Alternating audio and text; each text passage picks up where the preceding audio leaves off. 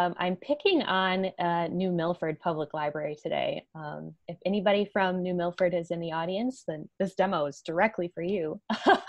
so when you first log in to the Circulation Manager, the first thing that will pop up is the combined catalog of materials for your, uh, for your library. Um, this intro uh, screen mimics uh, almost um, exactly the presentation of the catalog in Simply E that the patrons see. Um, so you'll see the default um, categories of content or lanes of content um, that are the default settings here in the circulation manager, uh, fiction, nonfiction, young adult fiction, young adult nonfiction, and children in middle grade.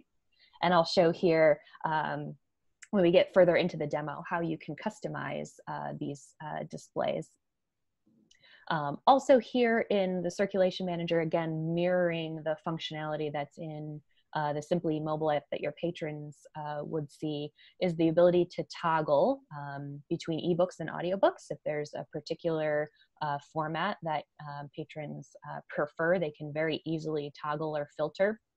And you can create that same uh, experience here in the circulation manager um, as well.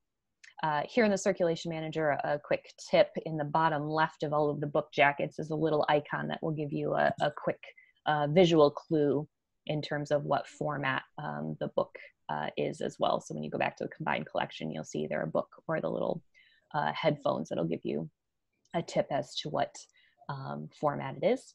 Similar to the Simply E mobile app, these um, sections are, you can navigate or swipe through them.